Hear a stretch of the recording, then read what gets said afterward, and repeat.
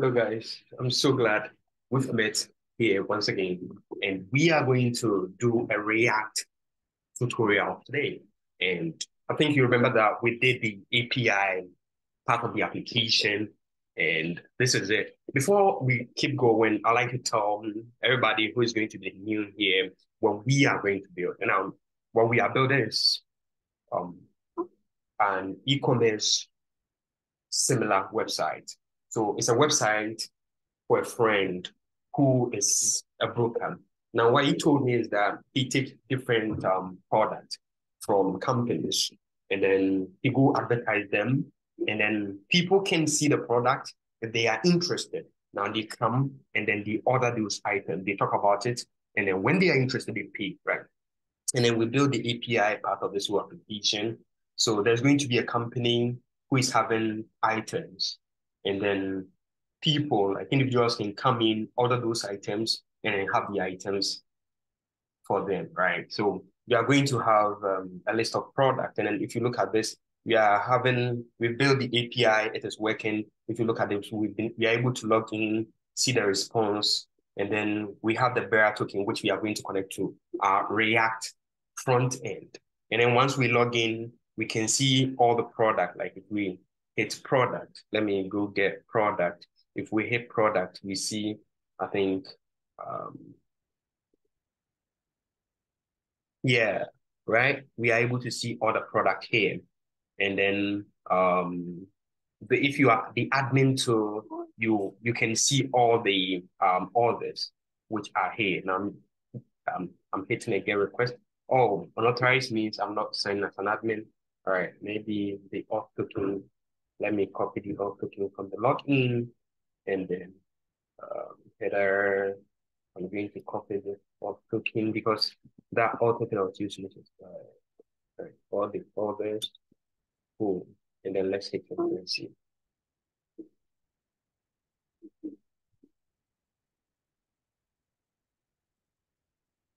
Great. So once we log in, we're able to see the orders, right? All the orders in the application and only the admin is able to see all the orders. So we are going to build an app, right? We build the API, we are going to add a front end, and that front end is going to have um, authentication. We're doing that with Devise gem from um, Ruby on Rails. Then authorization, we are doing that with content. And then at the end of the day, this is what we are going to build. This is the UI part of this whole thing. Um, we are going to build this um, there's going to be a list of all the products, right? This is going to be a list of all the products. And then the beautiful thing about this whole thing that when I was building it, I was so lovely. I was so glad with it is we are going to build everything as a reusable component. And we're not going to repeat anything. For example, when building this navbar, you're going to see that we could go with the old traditional way of repeating ourselves over and over again. But we're going to learn how to do this without repeating any single thing. And then we're going to have a container thing which surrounds all the pages. And then each page, for example, this is the home page, is going to be like this. You see there's the navbar here, the footer here, and then the details page is going to be the same thing. The navbar here, the footer there. And then we are going to have the container surrounding everything so that we don't keep repeating ourselves, importing header, footer, um, navbar, footer, navbar, footer on all pages. We're going to put everything in the container co component and then every page is going to be a child of that container component. We are going to build several um, pages, right? But for now, um, let's start from the top. Right? Let's start from the top. And to build this application, um, the question is, where do we start from? Um, we need to bootstrap the application.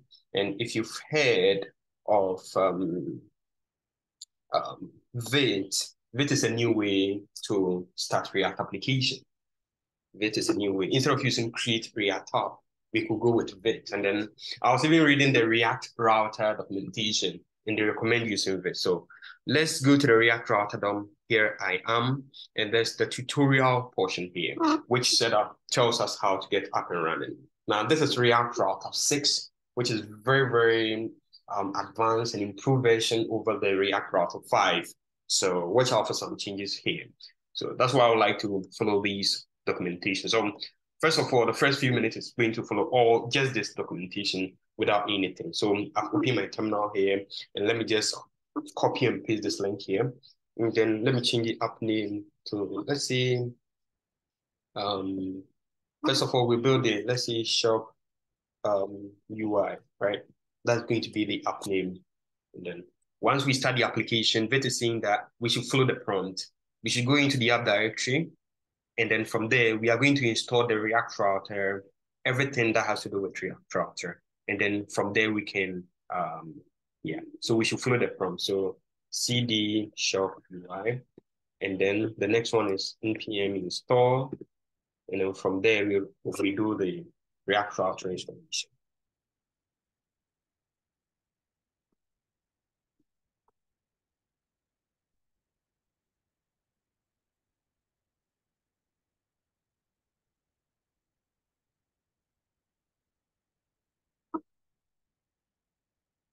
Now, whilst it's setting up, we like to know um, how different um, we are going to do a thing. Now, the new way of um, defining route in React is that we're going to use the um, create browser router. And that create browser router and then the route provider are going to help us so that we just, um, now I'm going to put the, um, I'm going to install this um, setup, right? This way I copy the, React router setup. And then once it's get done, we are going to set up our router, right? We are going to set up our router. Now, if you are familiar with route application, we know that the index page is the index.js file. But when you bootstrap the app with um, Vite, the index page is going to be main.js. So they are saying that we should go to the main.js, then make some small changes over there. All right, this is done. So let me open the open here. So open. Let's open this thing here. I could go with using code dot, but um, I like to use the same term now. So then code, um, all right, then let me open this thing here. Then once we are done, I think the next command is that they are saying we should go to the main.js file and then paste this here. But before we go, I'd like to, let's run the app and see what we got from Vite and then the React um, installation that we did. So I'll just we can know what is happening. So uh, npm, right. Uh, now this is not going to be started with npm run start. The documentation is saying that we should start with npm run dev, not npm run dev. We just follow the documentation. Nothing strange here. And then we are going to this link. Let me copy that. Go to my browser and then hit this. And boom, this is what we got. So beautiful, so nice. And then Vite is so lovely. It, you don't have to wait for anything. Just keep going. Right. Cool. So once we got this done, um, the next portion is that um, let's go to the tutorial. And the next portion is that we should go to the main.js file, then paste this here. Right, so I'm copying src main.js. This is where they are saying we should paste. All right, and then I'm going to just take away the app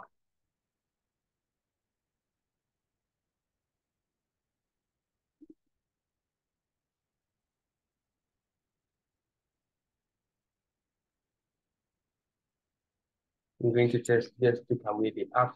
Yeah. And then paste the browser router over there. And then from there, the next part is that we should define our router. Now our router is going to be the path and the element we are going to render when we go to that path. So after this, we should define uh, router. Now, whilst you are going, if you have any questions, you can go ahead and ask. So all the router is saying is that we go to the slash or the root route, we should render the hello world component. And then from there, we should call the router provider and then give it the router as a parameter. So instead of the app, we are going to show this one. Now, this is how we are setting up our route. And all we're doing is that we are seeing that, hey, if we should go to the root path, render this element. Now we could render a React component or a page here. We are going to do that soon, but for now, let's look at what we got from here. Hey, this is it. Great. So we've defined our first route. So like this, so right? Okay, let's see if we can define another route. Like we use a real component. Let's go, still following the documentation. And then what they are saying is that we should add a global layout for this action. We should make a directory called um, root and route, yeah, inside the SRC folder and create a root. Um, um, so a new file, and then this is what I'm doing. So there's a root file created inside the SRC folder. And let's add something. Let's see. Now I'm having, I'm having this extension which helps me to generate um, um, arrow functions in React. And then it's called React snippet. So you can go ahead and take it out. So just the root, root here, all right? So this is just to render the root page. I'm going to see if we can render that. So we'll go to the main and instead of the hello world, we can render the root page.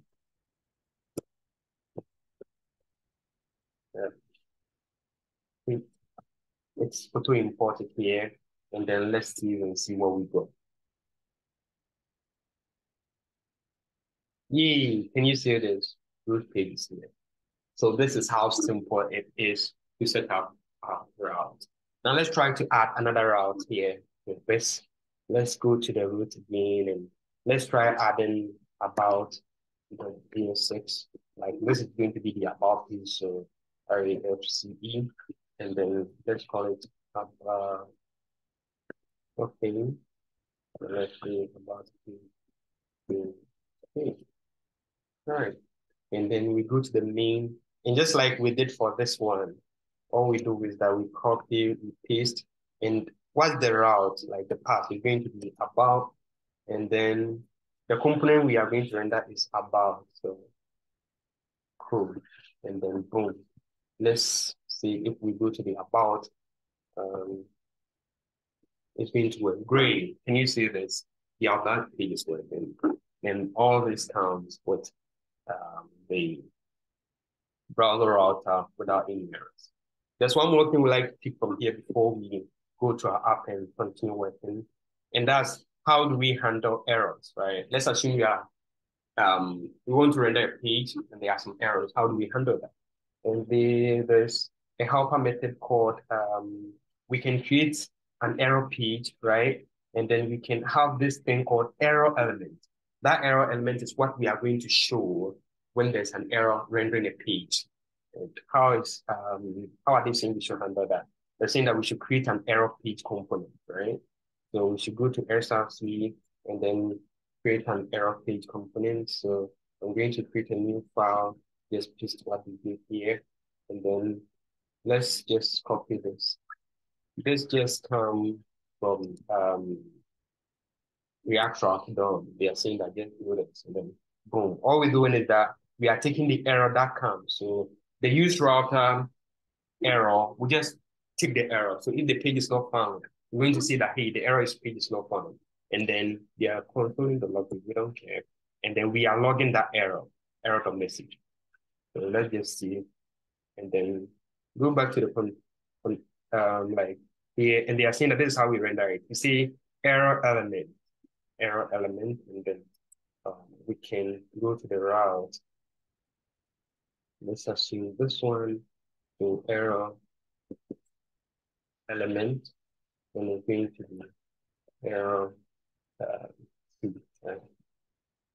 it means that when we are rendering this component and there's any error, right, we would like to just render what is there inside the error element. And we can use different error elements for different people, but I like to use the same thing. You can go ahead and customize what you like to do. And let's go to the page and test this to say right? This page is working, but let's assume that we add something which does not exist, right? And what do we see? Oops, right? Sorry, it is not found, right? And then it happens for the home page too.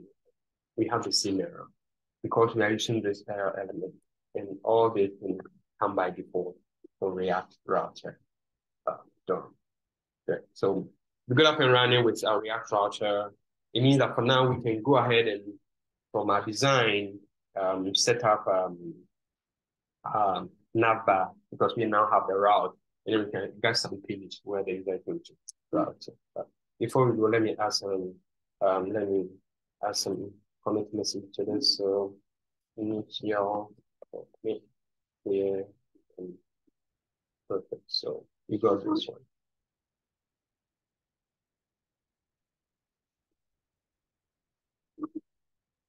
Cool.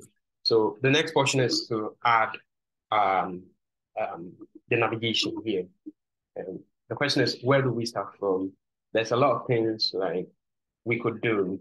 We could start by creating the whole big component and the react the old the good old way. Let me show you. I'm going to create something called components, right? Every uh, all these things by default should to the components folders.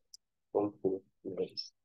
And then we can have this nav nav right? And then um, let's do now item.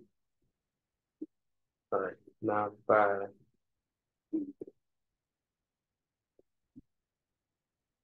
yes, all right. All right, so the old way that we were using is to, let's say we could create um, a whole big component, let's say um, the logo is going to be there, right? And then from there, we are going to have Li, um, let's see, times four, and then we add about um, contact, then um, um, so we could add this link, right? And then we could have um, uh, whatever, the links are going to be there, right?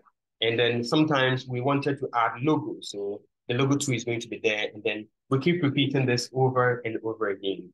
Now, one thing we're going to see that now I'm just using an li, so you can see the difference, but you're going to see that sometimes we have a logo here, sorry, an icon here, icon here, and the icon is surrounded by some div.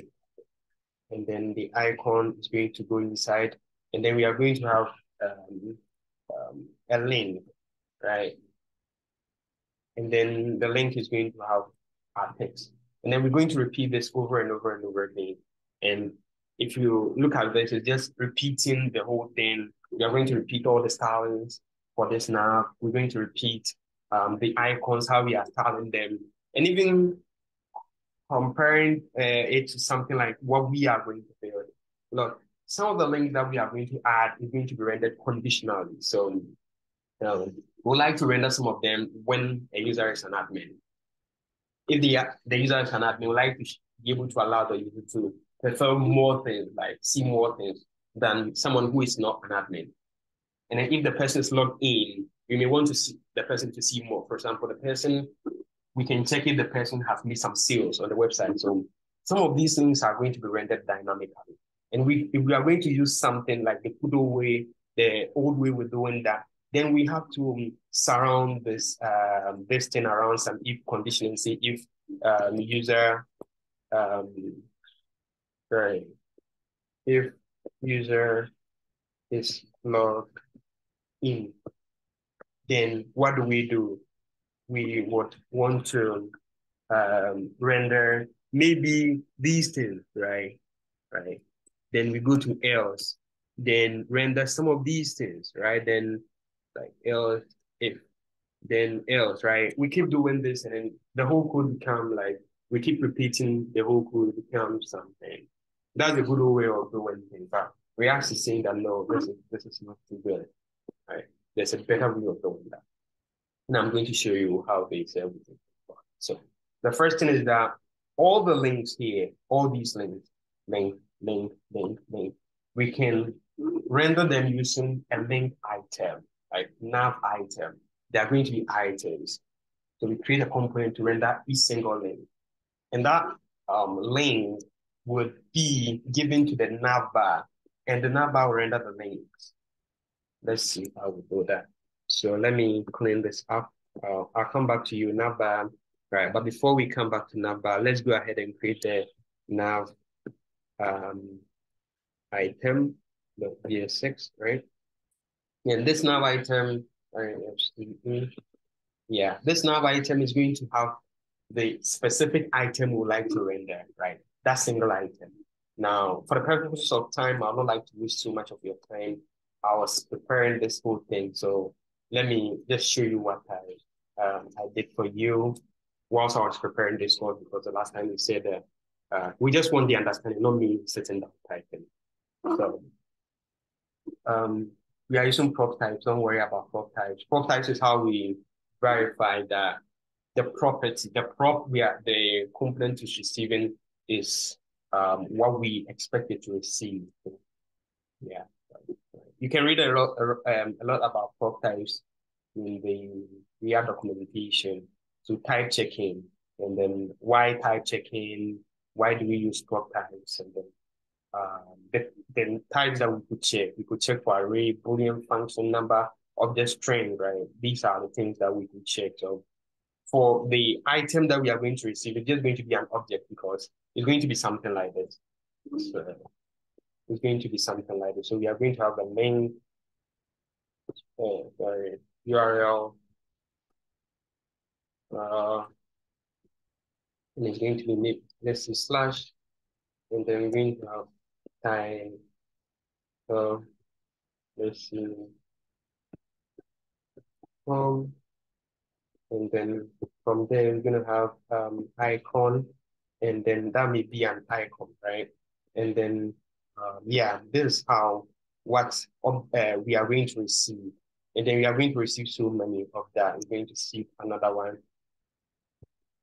right? And this is going to be about, so the user route to about, and then about, and then about type. Great. So this is an example of what we are going to receive. It passed to the number, right? And that's why we are saying that the prop type is going to be an object? If you like more information, you can read about it from the prop types documentation on React side. So we actually seen that we've updated the documentation. So we go to the React.dev. Yeah, check it out. So pretty. So that's the first thing about prop types. And then, uh, yeah. And then from there, uh, you see, whenever we click on any of the links, whenever we click on any of the links, yeah, any of the links, it takes us to some place, right? Anytime you click on the nav link, it takes us to some place. And um, instead of using an A anchor tag to take us to some place, you know that React, React, we like, uh, we don't want the page to refresh. React just allow us to create single page applications so that we don't refresh the page. So when we are moving from page to page, we don't reload it. We don't really know. We don't change the, the, the content that the user is seeing. So we are going to use the link um, link tag provided by React. We added some stuff, right? Don't worry about these stuff. And then from there, I'm checking that um, if the item, like if the object we receive from the um, the object we receive, right? This is going to be just one item. So it's going to be something like this. So if the object we receive is having an icon, render it. If not, nothing. Then we are rendering the title. It may sound a bit confusing, but do you remember what I showed you over here? Let me go back and then let me undo this, right? So this is going to be something like this. If you've worked with this before, creating an, an, a nav item before, it's going to be something like this. So we are going to have a list of those items. So, so it's going to be, let's see, header, I don't know, and then the header is going to surround everything. And then this is how we have, and then the logo is going to be here. And then I think if you look at what we were doing, the logo is on the right, and then the links are on the right. So the links are like this, right? And then each link may come with an icon. So normally we have an icon here, and those icons, we render it. So we can use a div and then let's see, span to render the icon, right? We have the icon there. And apart from that, we go and render the, um, let's say we have another div or something, and then we have an um, uh, span, another span to render the con, uh, like this is going to be the icon, icon, and then the, um, let's see, contact or the length green. And this is just going to be one line, right? And we keep rendering it over and over again. And we are going to do that the same thing for profile. We render the icon, the link. We're going to do the next thing for, let's say, contact render the link, all the links. So you see, for just one thing that we are going to render, look at the code that we have to repeat over and over again. And this is what we are simplifying over here. We are seeing that, oh no, just provide me with this. So if you are going to put, instead of doing all these over and over again for all the links, no, don't do this. Just provide me with the URL, the title, which is going to be, let's say, the home or the, whatever the link is, and then the icon. Just provide those things. And then I'll reuse this component over and over again to just show that on the screen. I don't know if you get any questions. If there are any questions, you can drop in the chat. Great. So we are good to go from here and then um, let's do this guy out. Great. Cool. So we now have um, a nav item, like it's going to be used to render a single item, then, right? Great. And then once we have the item, we have, it's just going to be for all the items. Now we have to build the whole of this component, right? The whole of this component. And that's going to be called a navbar. The items are going to live inside the navbar. And how do we do that? So we have the nav. We should go into the navbar. Cool. And then once we go into the navbar, um, but there's some trick here. Like we're going one by one, and then we are going to just render it. Right? Um, so this is a navbar.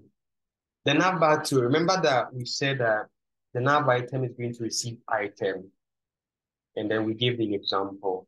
The navbar tool, that is not where we would like to put all the those items we would like to put the items in a container, right? And then before we even go ahead, let me create this um, container here so that I don't confuse you. Container. And this container is going to, let's see, uh, index like this. Yes. Again, this container is already great. So it's going to container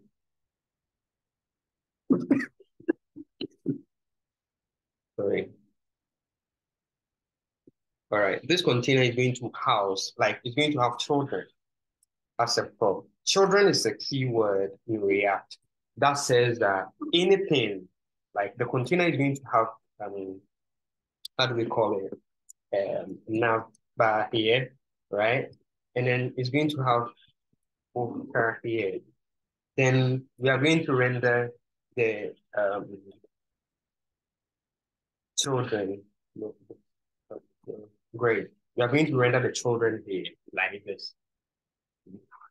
Children is not coming over here. I'm sorry. Cool. Children is going to, it means that wherever we um, wherever we call this container, wherever we call it, the container is automatically like that component if we call the, we are going to call this container around the, the these links, right? So we are going to call the container here. I'm going to build another, but before we go, let me show you what we are going to do. So we are going to build container, right? And then container. And then we are going to pass them like um, each one. And this is going to be the about each, right?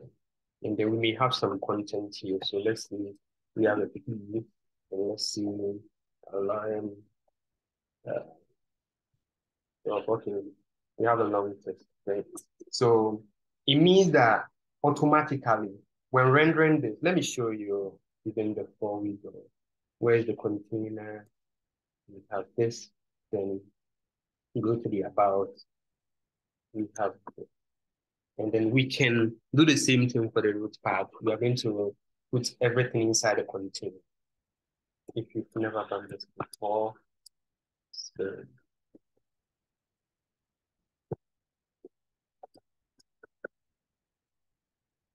Right. So this is going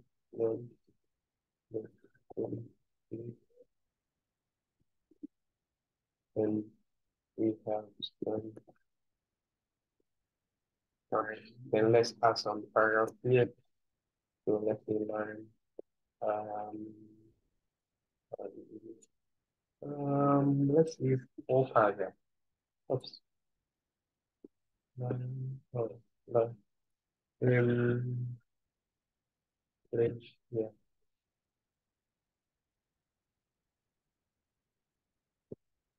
Great, we have three sentences here. And then once we do this, I'm just adding some content, right? And let's go to our page. You see that the nav bar and then the footer are here. The same way when we go to the um the about, we're going to see that the nav bar and the footer are there right? And this means that we are going to use this component. The moment we put a container around the page, then automatically that page is going to have the noun and the footer or any other things like we would like to share across the pages. Cool. That's why we are creating the container. So for now, let's go ahead and finish this container, the work around the container. So sorry, the nav bar, then we import the nav bar here instead of just using the nav bar. Then we finish the work around the footer we import the footer here, and then we use it. So this is going to be the nav bar. And there's some trick, but I'd like to show you now.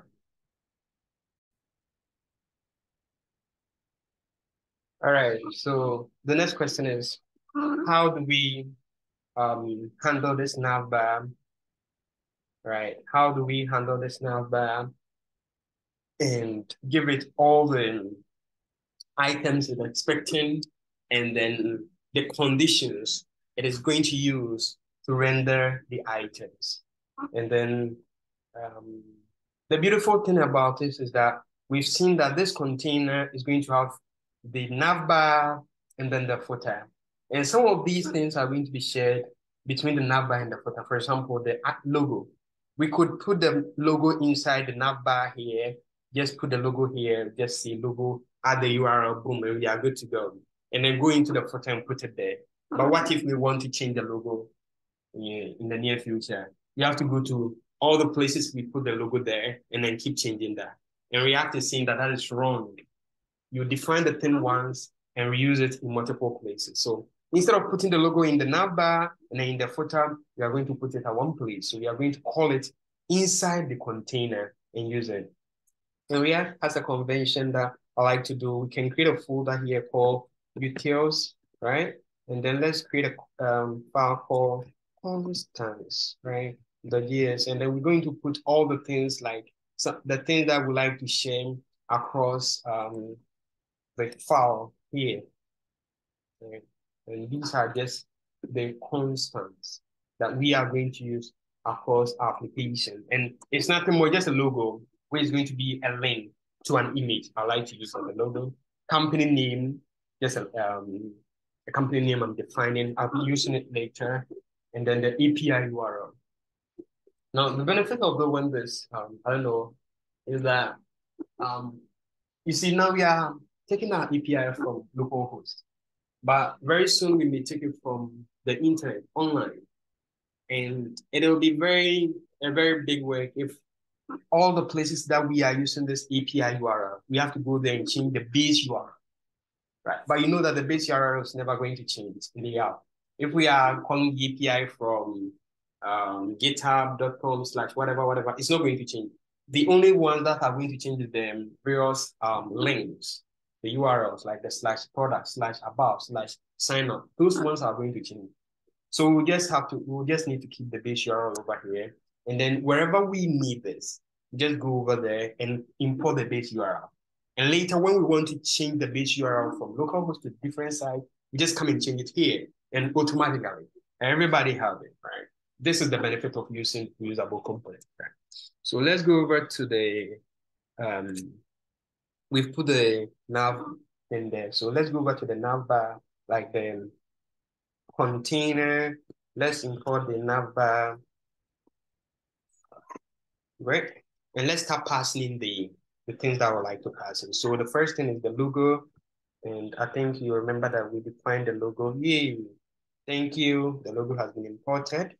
And then uh, if you look at this number, uh, think, let's define the things that we like to put on the number. So it's going to be the logo, then the item, then is logged, is um, the logged in status, right? Going to be the log in. Then the last one is going to be this. Cool. So these are the things that we are going to pass. The reason why we are passing is logged in and it's admin is that we like to check, hey, are you the admin? Then let's show you this link. Are you a logged user? Let's show you the links that you are going to have access to. For example, you can now place orders and see your orders, right? If you are an admin user, then you can see all the users. You can see all the orders. Then you can create a new product, right? Those links we don't want to allow everybody. So we are just going to import it in, in this place, and then we are going to be based on that, and then um, we are going to base on that to render what we want to render on the screen. So we have the logo. Then for now, we don't have the authentication working in our application. So for the it's logged in, let's set it to let's see it's logged in. Let's say it's equal to true, right? And then the same thing for the is admin we don't care so much about it. Let's say if that one is equal to true, right? It means that it's logged in, its admin is equal to true. And then all we do is that we see uh, logged in here and it's equal to this login that we define here. Later, we will use the user's um, login status to just see that um, if the user is logged in or not. Great. And then the last one is the items. And then um, let me see. The last one is the items. And this items is what we would like to render to the user.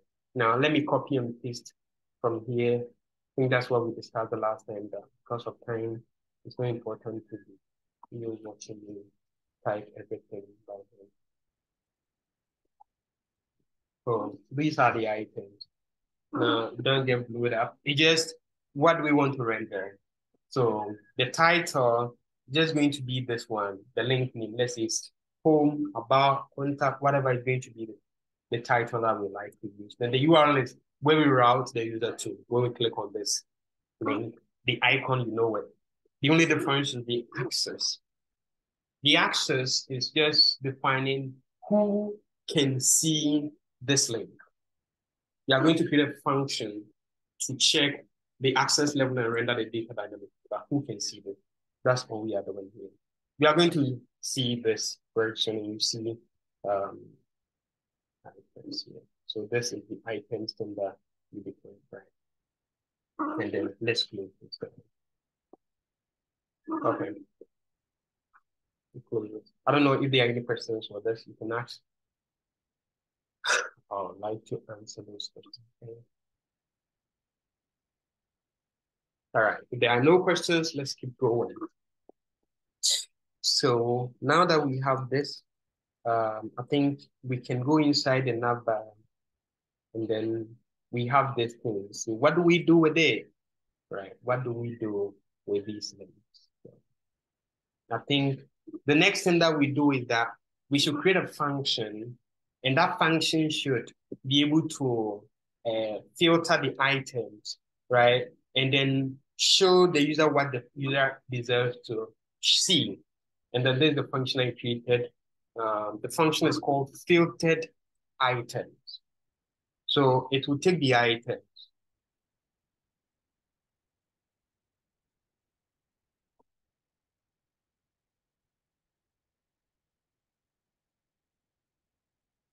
Great. So it will go through the items. These are the items, right?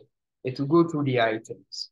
It will take each single item. So when it take this one, what it will do is that if the item, this item, the access, this access is equal to all, then it will return true. Return true in the sense that return everything, right? Return the item. Just return it to the user. Just return this item to the user. Great. But if the item, the access is equal to logged in, let's assume that this one is, uh, let me create another item here where the logged in access, let's see, uh, my profile, right? And then the whole thing is profile, and then the item, the link, don't worry, then the access is logged in, right? Great. The next thing is if the access is logged in, right? And logged in, like the logged in path to the um the like the nav, like your login status, the user's login status is equal to true. This is a short form, just saying that if login is set to true, then we render the item. I don't know if you get a point, right? Just a point, right? If the item the access is equal to logged in and you are logged in, remember we defined the login status here. We are going to use the authentication to do that like later, but then for now we are just using the um, a function, uh, I'm sorry, just a variable to store the login status. So if the access is logged in, if this one is logged in, the access is logged in, and your status, you, the person who is coming in, who are accessing the website, you are logged in, then return that item to you. But if you are not logged in, then we don't return that item to you, right? Then the last one, is if the item, the access is admin, for example, the slash admin, go to admin slash admin. And then if you are an admin, if you are an admin, then return that specific item to you. If not, then return false. We don't show you the item. This is a simple function to filter through the items. It may sound seems confusing. I'm sorry. Um, and we keep learning, so uh, that's the best thing to do right? And then from here, what do we do? We would like to render everything. We like to render everything. We are just going to render the logo with an image, then the filtered items, right? Those filtered items are going to be rendered uh, now.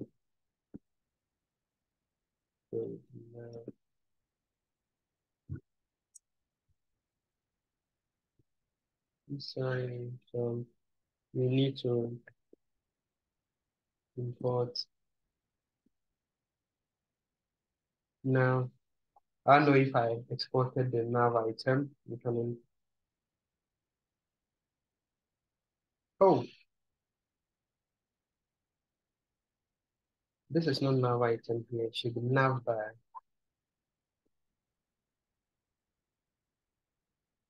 This is the nav bar, right? So we need the nav item. Let's see. Do we really call it nav item? Great. So export nav item. Import nav. Great. Cool. So we have the nav item, and that's what I like to see. Perfect. So all we're saying is that um, we will just filter through the items. And this item will just give us the links the user has the right to see. And from there, we just map the filtered items. And for each of them, we render it using the nav item. And that nav item is accepting the keys, title, and the item. If you remember, the item is going to be an object. Remember, it's going to be one of them. Each one of them is going to be the item. And then we render the item using the nav. It's a bit confusing. I'm sorry. But just keep learning. So um, uh, there could be better ways you could read around it and see if there are um, better options to do that. But for now, yeah, that's what we have, right? So I don't know if they anything, but let me add the CSS styles to this guy so that uh, then um, now the CSS, and then we can um, just copy and paste my styles here. This is just style and nothing changed. So um, you can add your own styles that you want. So now got CSS, and then let me paste this guy here. Just the nav, how it displays flex, the nav item, all the items. And then let me put this guy also in the nav, right, nav. And then who is not see the container see right? We are definitely going to encounter an error, don't worry about that. And then let's see. Yeah, we need to install prop types. Sorry. Um, so npm install prop types, right? I do install prop types. And then whilst it's installing prop types, I think we forgot to add a prop types to this. So um, let me add import um, prop types.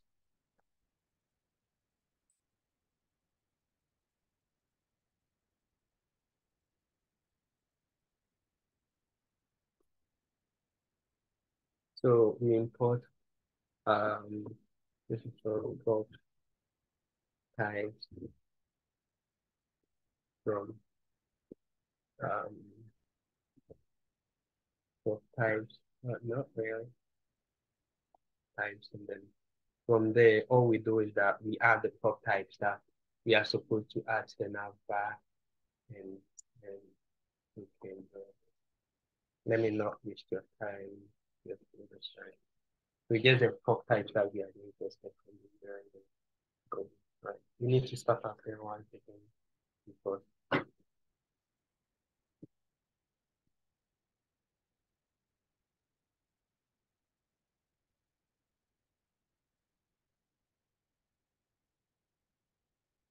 Great, so our app is running. Let's go back and see what we got.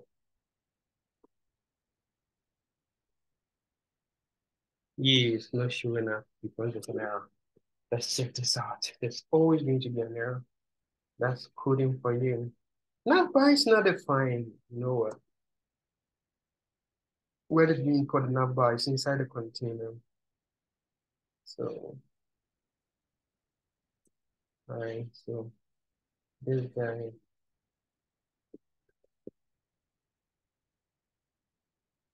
Do we really have it? Great.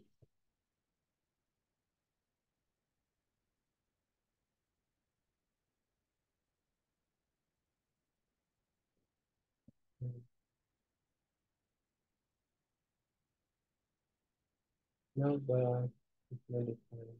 Maybe I'm just calling it a different name.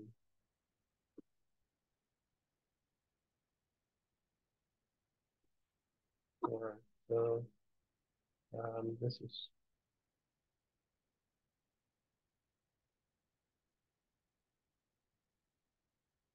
not by Alright.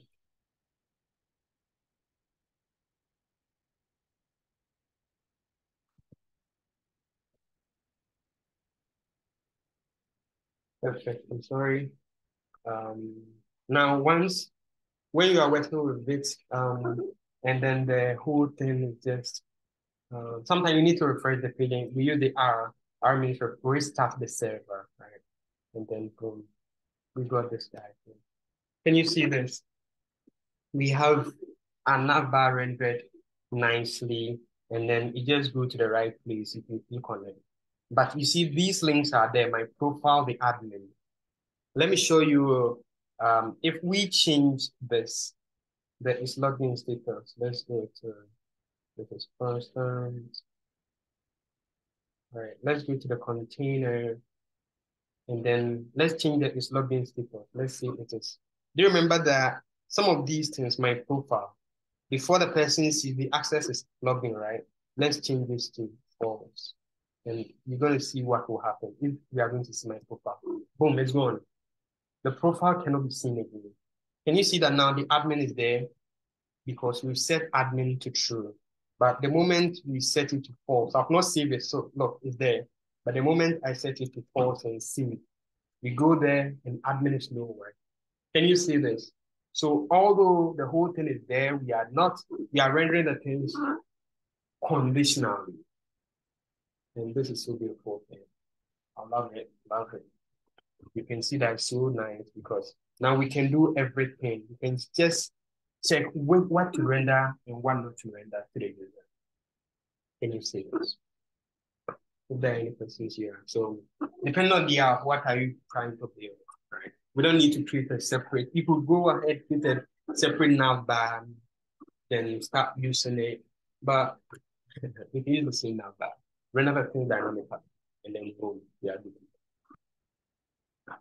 Okay, let's add the footer and then um, we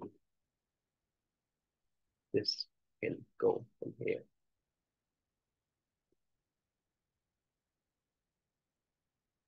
So the footer is going to be this. Let me first add some message and then see not that. So the footer is going to, we are going to create a new like component. Inside the component, let's create a new folder for footer the ESX, right? And then this footer is uh, oh. So you just footer, and we create a footer. Yes, yes, right. And then this footer, like, no, don't let me waste your time because at least you know how it works. If you really understand, uh, like you grab hold of the things that we did for the navbar, this should be easy. So all we are rendering is we are just having um, the logo and then the um, the copyright information. And remember, we are calling the company name. And the company name is coming from, we are going to pass it as a prop, right? Accept it as a prop and render it over here. Right. And then let's add the CSS files. for This is, this is that's why I don't want this left down here. So um CSS. If you have any questions with the code, I'll just send the link online link and grab over and then uh, so we got it. No, we have to go to the container and just add the footer instead of this one. So instead of going to import the footer in all the places, like instead of going to import the footer in all the um, like pages, pages, pages, footer, footer. No, just put it inside a container and boom, every page that has access to the footer is being Now remember that we had to pass the logo as a prop logo here and then have a company name. Right, and then it's going to be the company name right? And then we are importing that company in here. We're passing it as a prop, right? And then boom. Hmm. Titi saying I'm going too fast. I'm so sorry. But we got after download. Are there any questions? But I think we need to add some styles to the container so I just push this thing away instead of um like um it's being there. So let's add the container styles. I think I even started it here. Let me get the container to see. No problem. The container is this. So we are having the, oops, let me just uh, add. Container, SPSS. And I like to just add two styles, the container the main container, which is going to have a width, a main width of at least 100%, so that at least the, the if the even there's no page, the whole thing is going to, the footer is going down, and then from there, the content is going to have this pattern. It's very simple stuff to the container, and then nothing more, nothing less. I'm doing a lot of copy and pasting because we agreed to do that so that we don't waste much time. Just the explanation stuff is important, right? So the container is having um, this container thing, and then from there, we are just giving the children like a pattern around it, and then boom.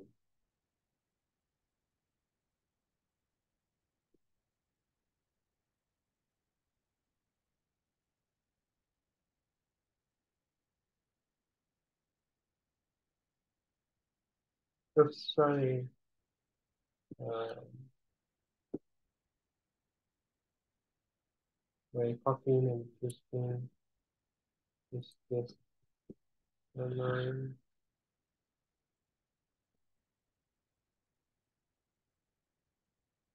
Um, how do we call it? We call it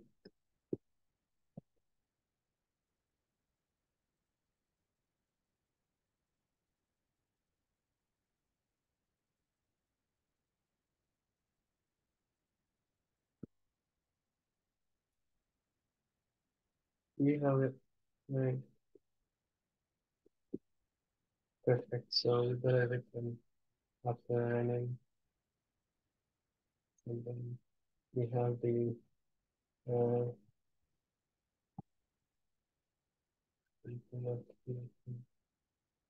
great. So I'm sorry, my copy and pasting error. So I think we are having this pattern.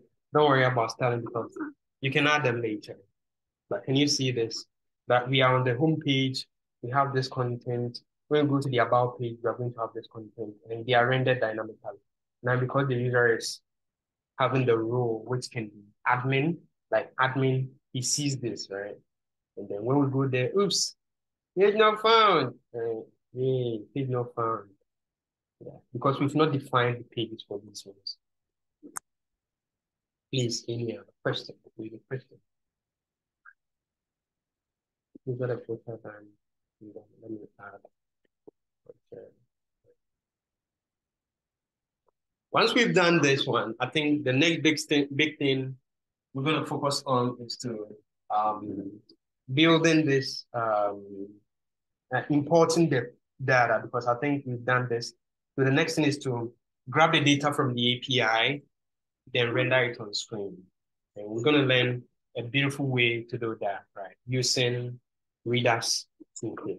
Before we go to it, let's start reading around Redux toolkit, Redux, and see how the, yeah, I think we should do this now.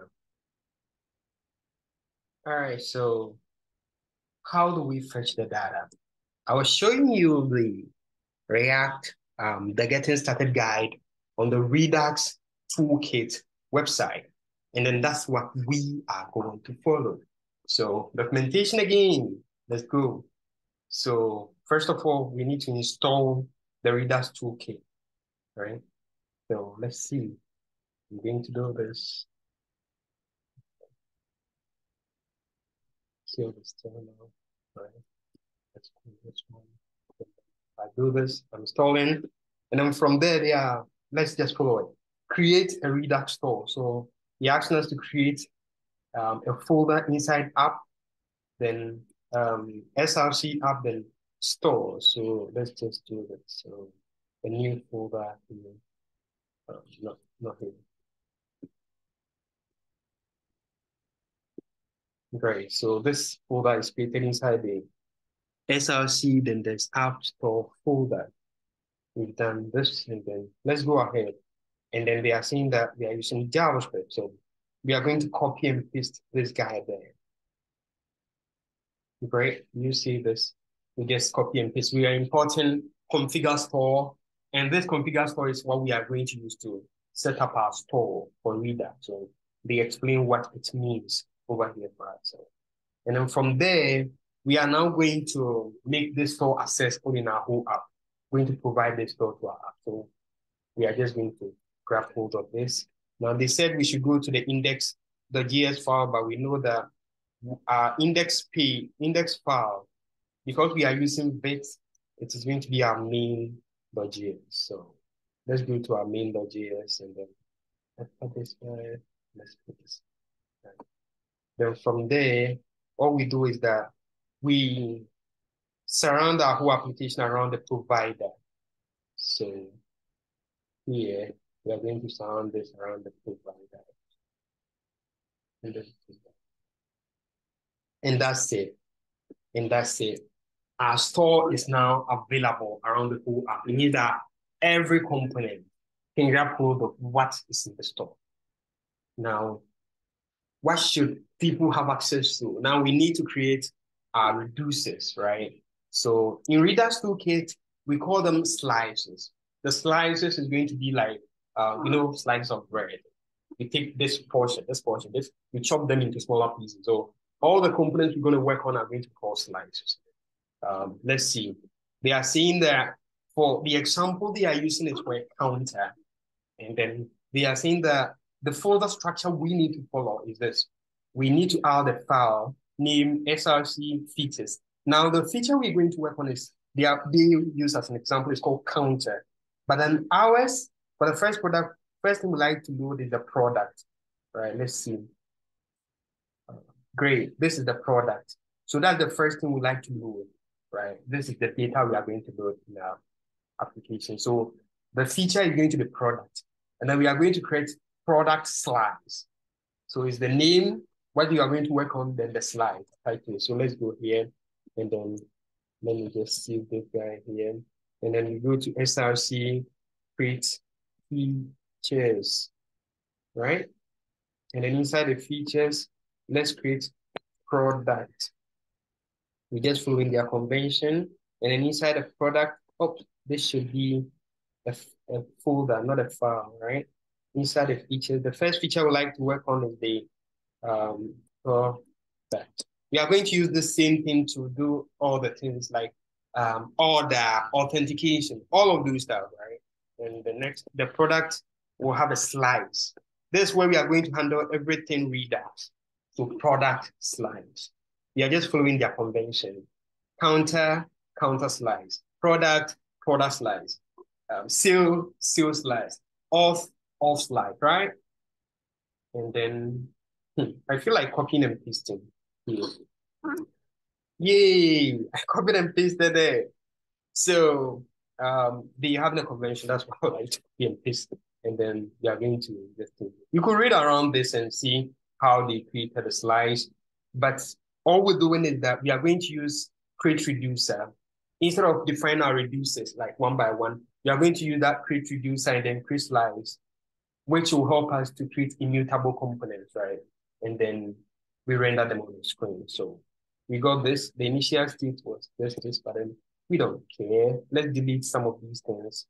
And one thing we need to know is that uh, anything, right, any action that would like to dispatch the Redux's um, uh, their keywords, one of the keywords that got me crazy with reader just dispatch, you know, dispatch an act action, payload.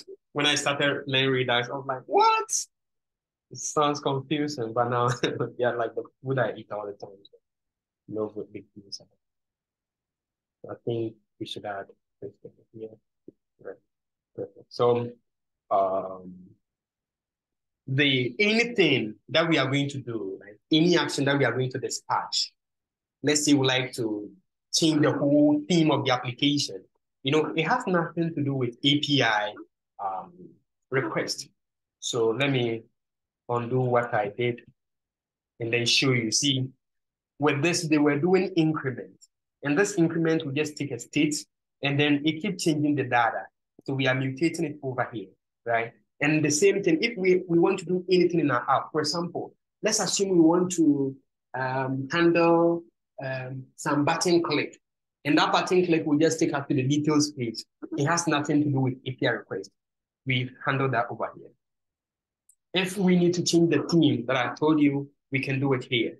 If we need to just perform something, right? The user dispatch an action, it goes to the Redux store, and then change something in the store. We do it inside the reducer, inside the reducers.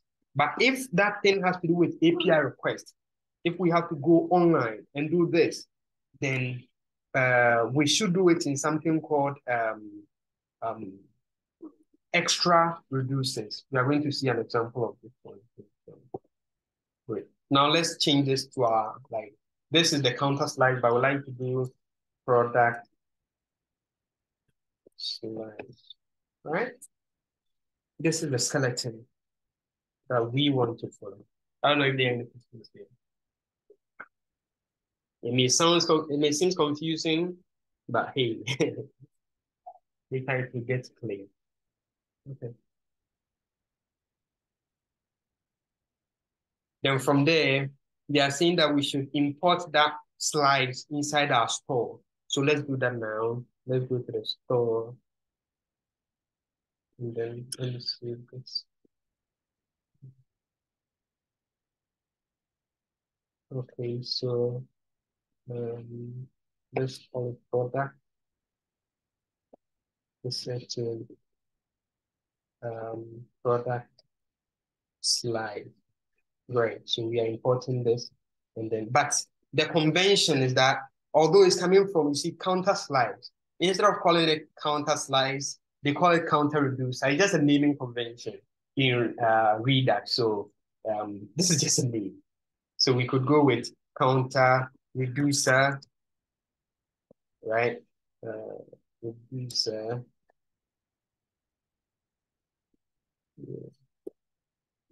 So, a product reducer, but it's just a naming convention, right? Because this is a reducer, so we don't want to call it a slide.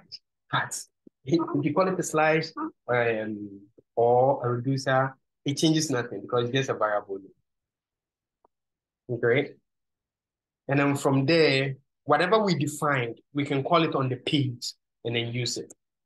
Whatever we define, we can call it on the page and use it. Right. We want to fetch API data. So how do we go about it? Let's see if they have something. Yay, there's this thing here. It's called create a async thunk, right? Create a async thunk. And that create a async thunk is used to handle um, asynchronous data like API call, fetching data from API, we can use that create a async thunk to do it. And then let's look at the example they are using. Because for us to, we are going to pull some data from the API. So let's let's look at the example they are using. So we are seeing that we are going to have fetch by ID. All right.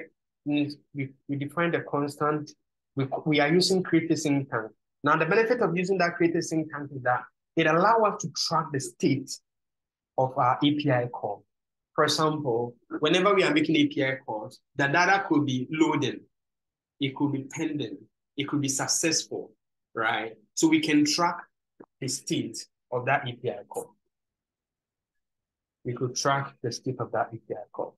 That's why we are using the previous endpoint. So, so its most common use, you should not need to explicitly declare the type, whatever, whatever, whatever. All right, don't worry, let's keep going. And they are saying that over here, they were using fetch.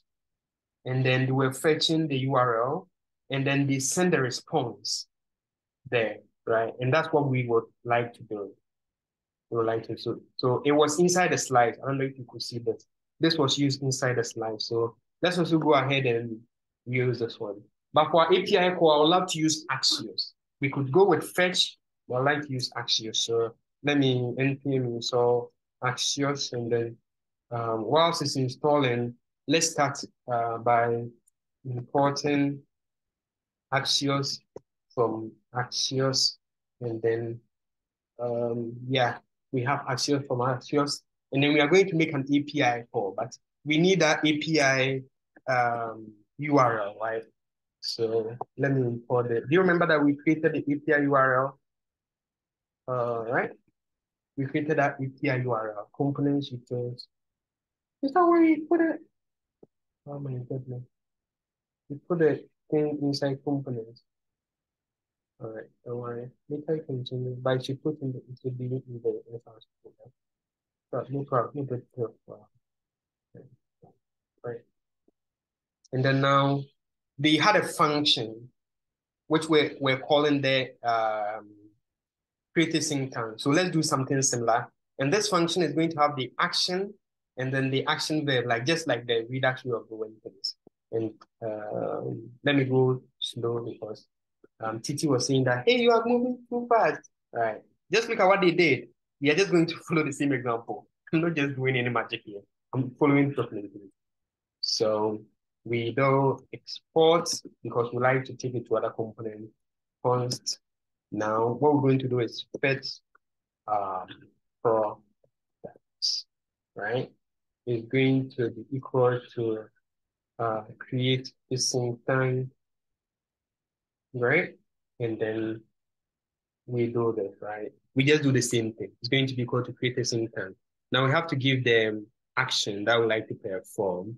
The action is going to be product so that we can like grab hold of what is happening, like in the Redux store. And then we like to do fetch product. It's up to you. You can name this thing anything. And then this is going to be the action, right? And then from there, we are going to use this sync, right, to fetch the data.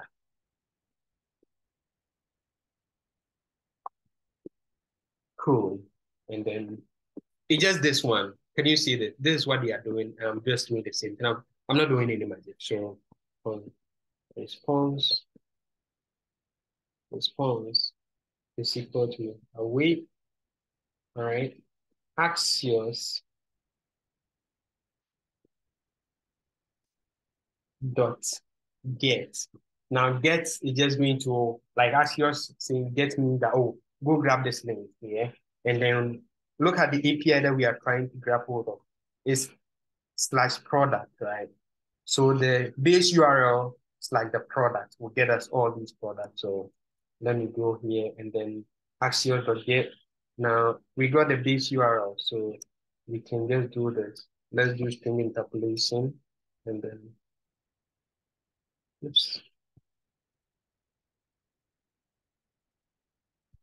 Right, slash um, pro, pro.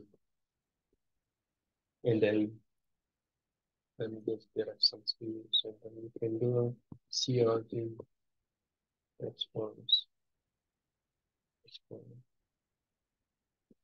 Response. Because it's an API call, we are going to get the data, so response.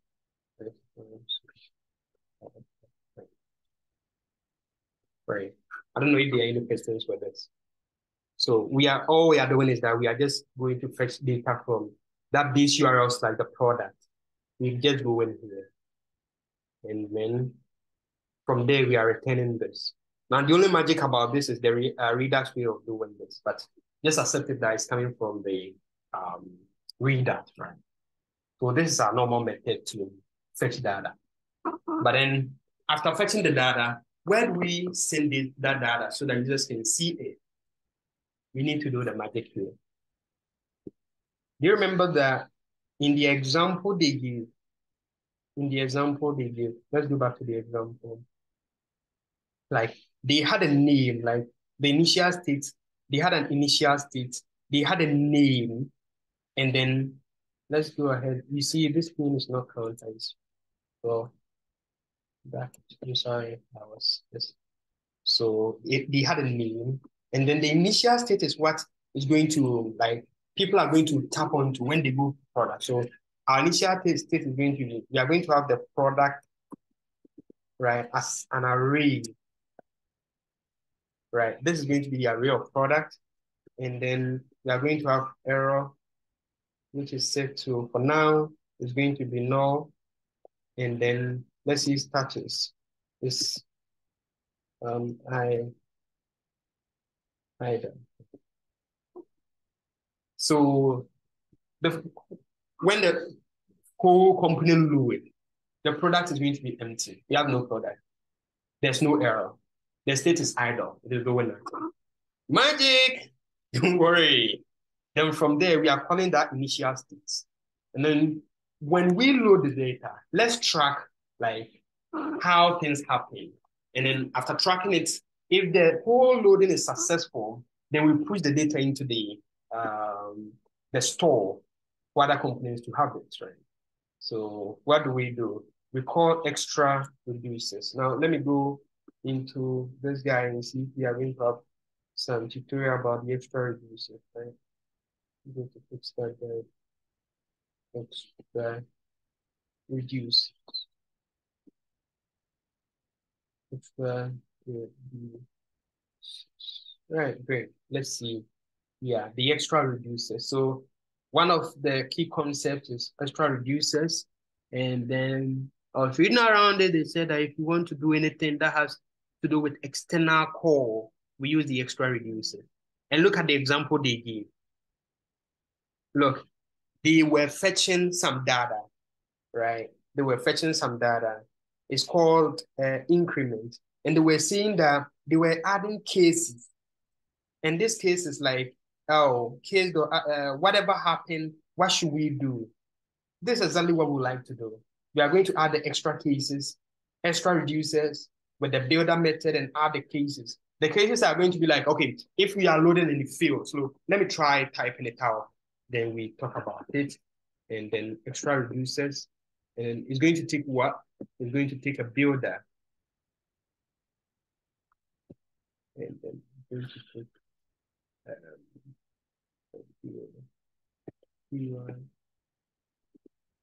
there, right?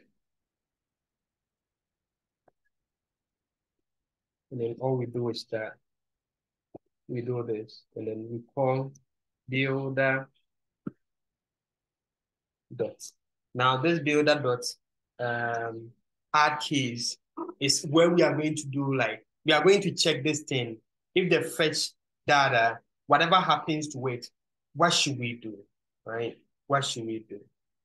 The palette is going to be my friend to be, but he is tired of waiting and then, so let me see if it's going to help me. Builder dot yeah, add keys and then Copilot. Come to work today because we want to add you to our project. Right, great, you got it. So Copilot is able to do the um, we don't have to do this. So, okay. Copilot to work, but I think he's tired.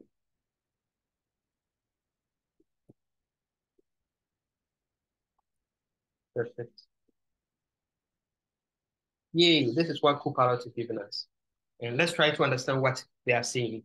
So the cases we are calling fetch product, but it could, um, the state, like it could be loading now. This pending for fail rejected is just coming from um, the API call. You know it already.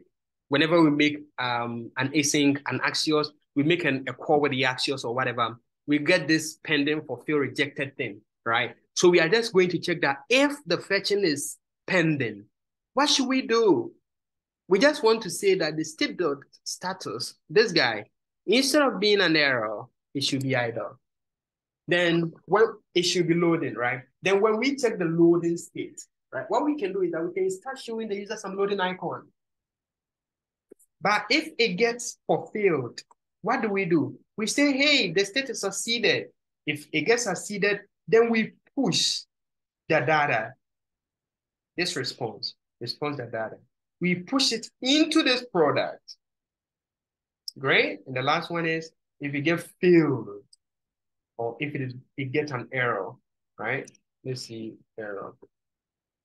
If there's an error, we can see that state the error is equal to action the error the message. Miracle! No miracles. I'm just following this. So if it is rejected, if it is succeeded, just following them. you can go ahead and read about it and then build up the add increment. And you can go ahead and read about this, create a sync and then the extra uses and yeah, good to go.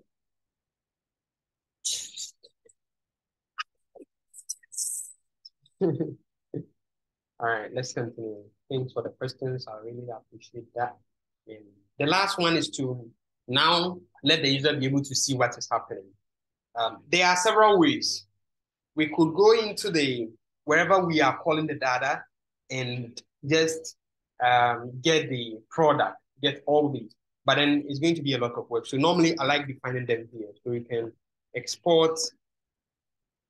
Okay, we are going to select all the products. It's going to be state the product, the products. This. right? Then we are going to have the last one, select status. It's going to be state dot status dot status and then um, select error is going to be state error, right? Um, I don't know if you have any questions with this. So we are grabbing hold of all the data, like all the product, all the state, then the error, and let's do something with it, right? Um, this is like a magic. I think everything looks fine. Great, so nothing. So we go into the product. Now we have the product slides. So let's create a product itself, a product. And this is what we're going to use to render the product on screen. All right, let me go and make it GS6. Uh, rename GS6. Cool. And then I have to, so let me call it product. Mm, that is right. Cool. And then what should we do when we come to that product page? There's some magic here, right? We are first of all going to import the thing that we need from this slides. And I think um, you could see an example here. I want to show you this. this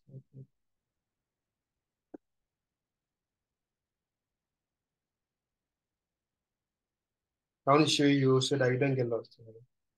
Yes, look, we are, we are importing this, all the things that we need from this place. So they include use selector, use dispatch. Let's copy this.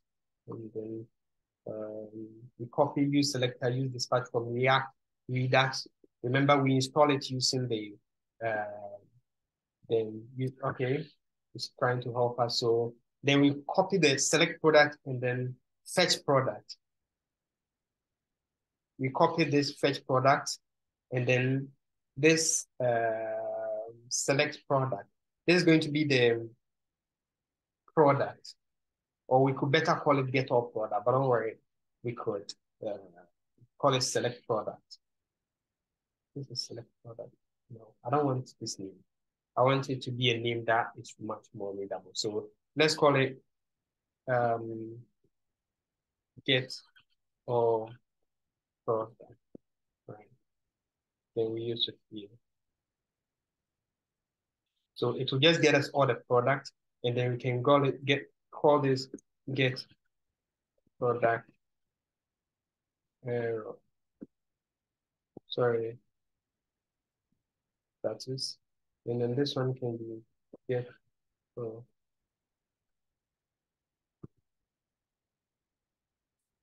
Ready. Okay.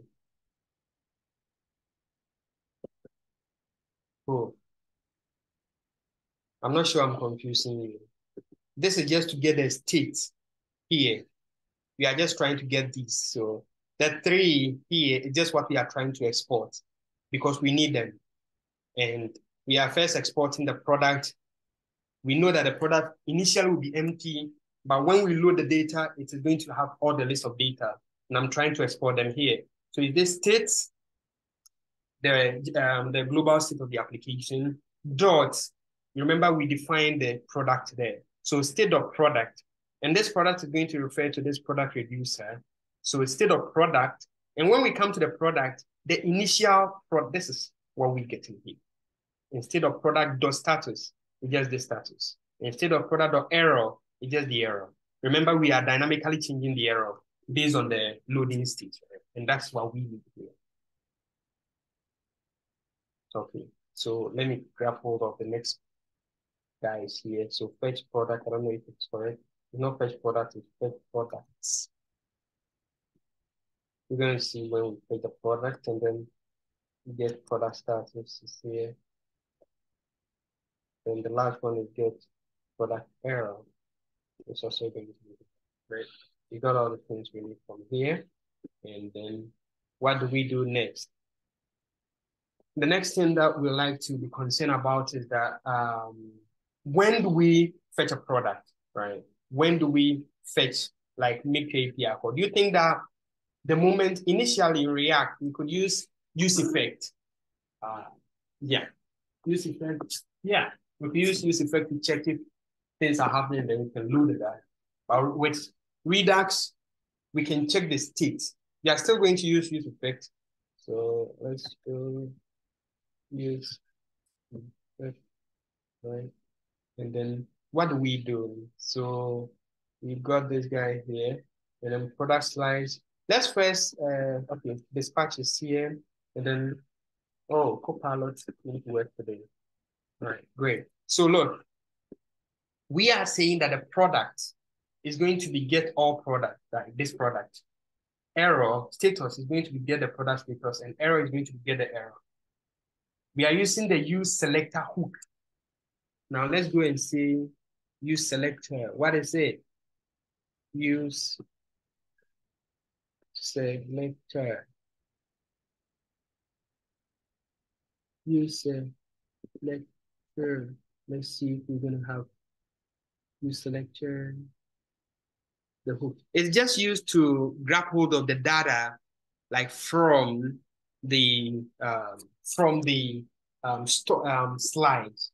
If we go ahead and just say that we, we want to just uh, grab hold of the get all product, we have this here, so we are just going to grab it like this. No, it's just going to return the function. But we use the use selector hook to just get the data. Yeah, so that's why we are calling the use selector on all the, the things here. Then boom. Then let's see, when do we load the data? So we can see the use effect, keep going, keep going, right. Cool. So yeah, just calling use effect. Yeah. Oh, oh, say effect. Who called this? Yeah. We are just calling use effect to check that if the status is idle, then we are going to dispatch fetch product. Remember, initially the status is idle. Then we are going to dispatch fetch product. And this one will just call this function. And the magic is the magic is that the moment this function is called, we are going to have the data. Then once it gets succeeded, then uh, we push the data into the um, product and we show it on the screen. Then what if there's an error, right? What if there's an error? What if there's an error? Then let's try to get this one. So if status is loading, let's use some loading icon, right? And then if status is, if um, status is going to be an error, then let's return the error. Great. Confusion set in no. We are just loading the data when um, there's an error.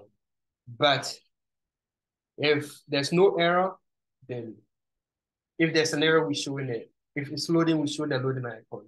And then if there's nothing, what do we do? Let's just console the log the data is C.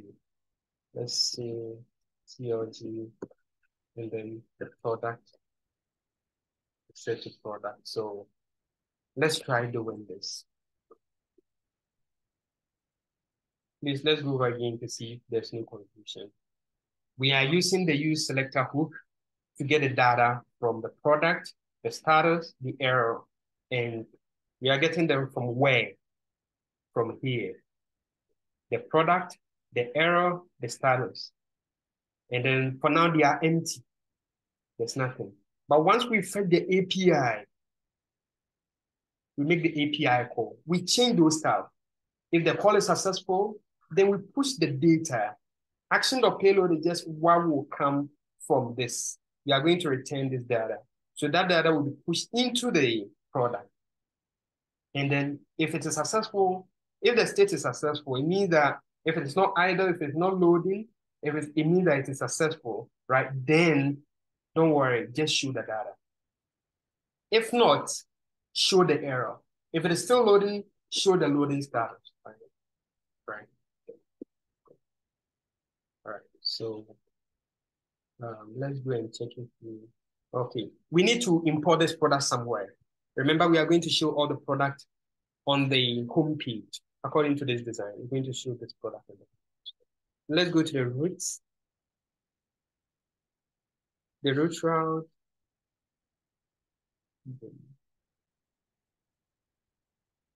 So we are going to import product index. So instead of this home, like let's import uh, product index, right? And this one the port. So here, uh, all right.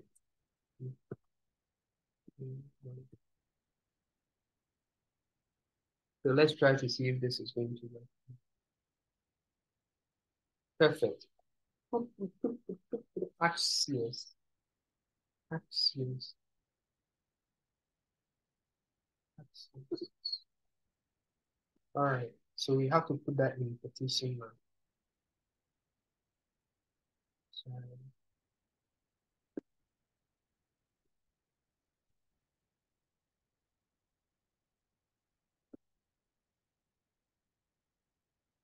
There may be an error, don't worry. Coding is all about fixing up. Look, do you see the loading thing? Boom.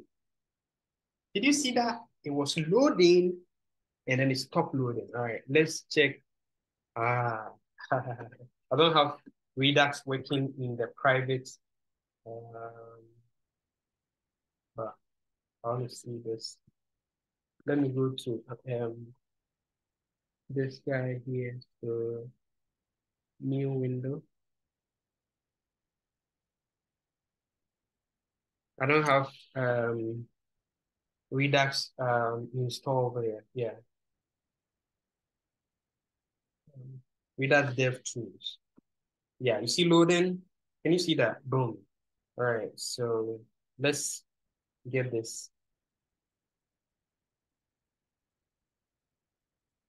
Can you see that? Look, we got a payload. Look at this. So product the fetch product is fulfilled. And look at the data we are getting. It may be very tiny. I don't know if you can see that. But initially, the status was pending, and then it got fulfilled. And then we have all this data. It means that our React, our Redux code is working. We've now been able to fetch data from the API. How was it? we would we may love to go over again um, if you are having issues, but I would strongly recommend you to um, read the documentation on the uh, on, yeah yeah on the um, Redux toolkit. You just have everything you need to get out of. Right? right. The next portion of this whole thing is to render that data on the screen. All right, so we now have all the data loading over here for us. And we would like to render it using a component. Now, do you remember how we did for the nav, um, nav bar?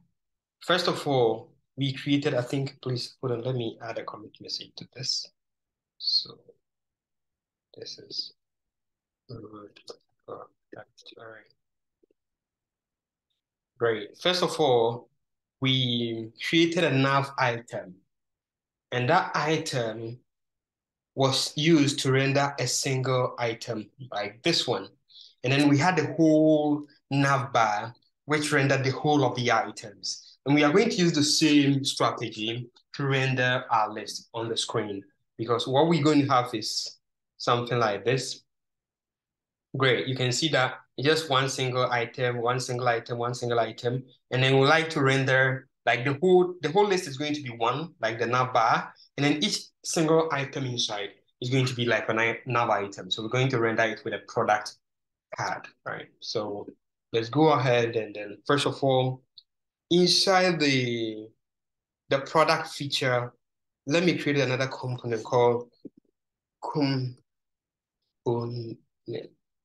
right? Now this could be a different name depending on what you want, but then it's just going, it's just me, right? So let's call this product, um, product. Should I call it product card or product item? I don't know. We can call it product card. Right. So this is just going to use to render the product item or product card, right? Because I prefer this name because it's a card, right? It's a card, no, not just an item. It's lovely to call it a card. Okay, then from here, let's do RAFC, a good old way of doing things. Great, so we have the product card, and then what do we do? We know that that specific card is going to receive a product, uh, product, right? It's going to receive a product. And then when it receives the product, what do we want to do? All we do is that we like to render the product. Now, what's um, that's a product has, I don't know, if you look at this screen, you can see that what we are getting from the API, like there's a single product, and the product has a name and a price and a description and an image, right? So we like to render these things on the screen, right? So uh, let's just do something like this. I'm going to not waste your time. Perfect. So um, cool. So we are going to receive a product and then we are rendering them. I will give this guy a key. The product is having an ID. So we are giving it a key in class. Then the product is having an image. You see this IMG. And that is what we would like to render here. We give it an alt of the product name. And then the product is having a name and a price.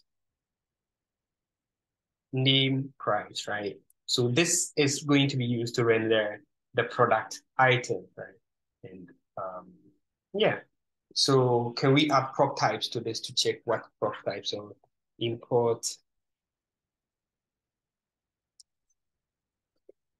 prop types, prop types, right? And then what we do is that we can define the um, product, okay? And then we are going to have, there's a product and then it's going to be an object, right? That's all. And I think we are good to go. I don't know if there are any questions for this. We are just following the same thing we did the last time when we were creating the um, nav item nav bar. So this means that in React, when you just learn how to do one thing, it, it, just keep following you. This is going to be used to render one single product, right? So product card. And then the next component I would like to create is the product list. Right. So RAFC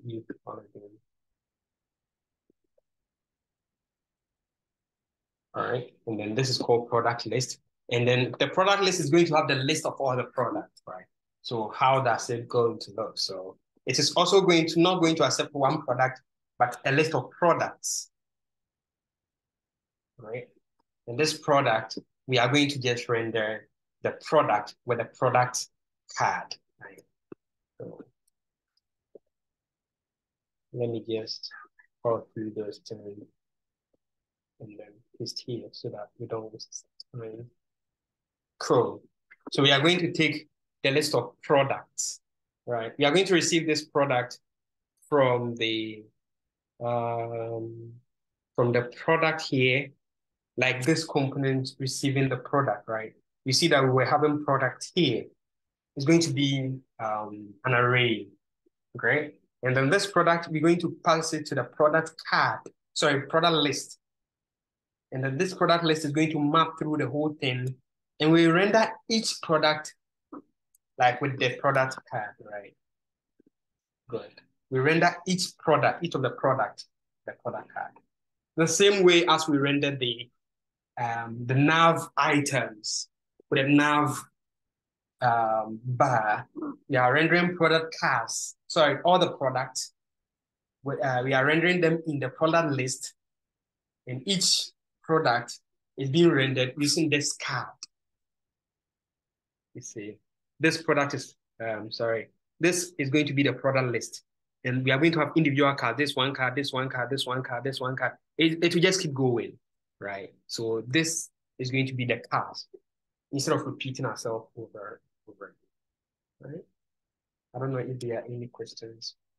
And whilst I'm here, uh, waiting for your question, let me just add the styles for this um, thing so that at least we will have something to look at.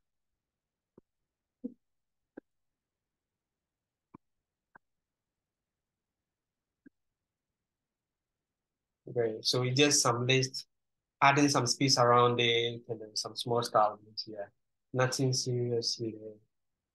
You can add your own good styles. I know you are a CSS guru. Um, dot slash um, product the CSS. The same thing for the card.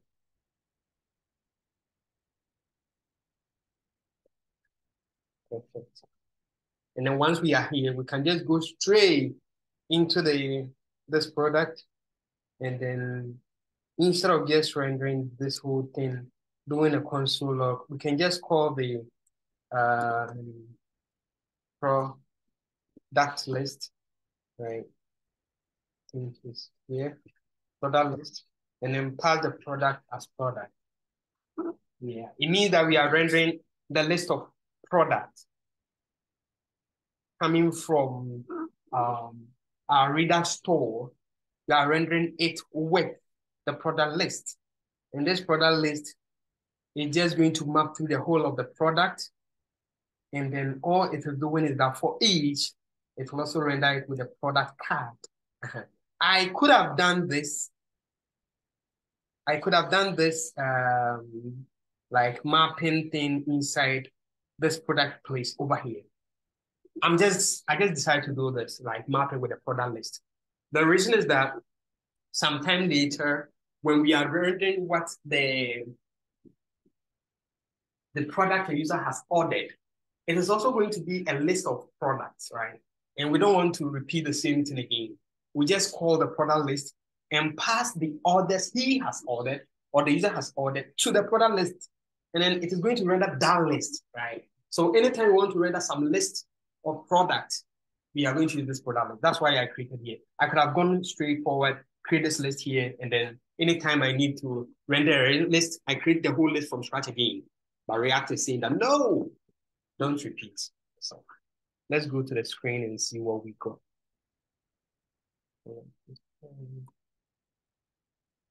Where's where are you? Right? Yay! Look at this. We got our product rendered using this list on the screen. I don't know, that's space.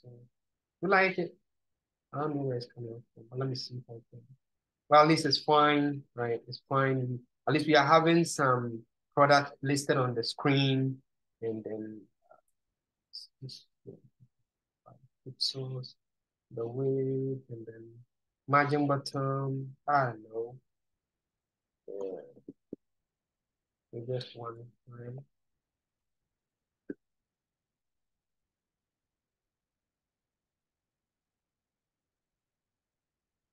Yeah, we just having for, I don't know, you can add your styles later, but I think the most important thing is we are seeing the product that we are rendering here and they are waiting for it. If there are any questions, you can go ahead and ask them. The whole idea is that we can render our list, right, using a card. This card is just for one single product. And then we have the list, the whole list, right?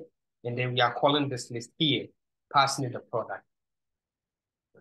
Later, when we are about to render the list of orders, you're going to see that, yeah, we did it right. At least um, we are using the same thing. Right. Good. When we try loading, look at what happened. It will start loading here. Just look, can you see the loading? Loading, boom. Yeah, and then it's all coming from here. If it is loading, return loading. If not, just return the list. All right. I'm sorry if I'm just confusing you. Take over the back. I mean, there could be better ways of to explain this. So, um, uh,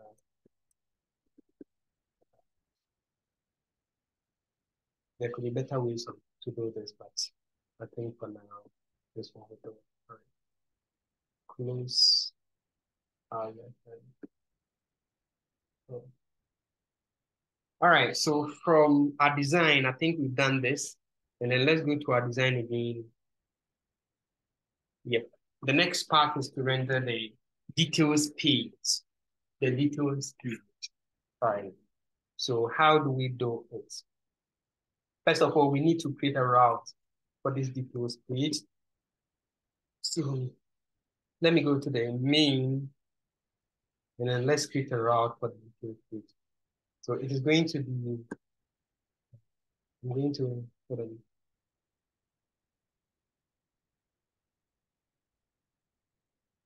I'm going to just copy uh, this and then duplicate it. Cool. So it's going to be product slash product ID. And I'd like to render the product details. And then we've not created a, this product details, right? So let's go ahead and create this product details. And then I like to create it inside the components for this guy. So let's call it product details. Six, right. Great. And then what does a product details contain? It is just going to be like when we click on one single product, then we go to that specific product details.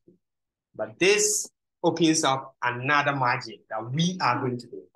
How do we um, find the specific product we like to go to? How do we do that?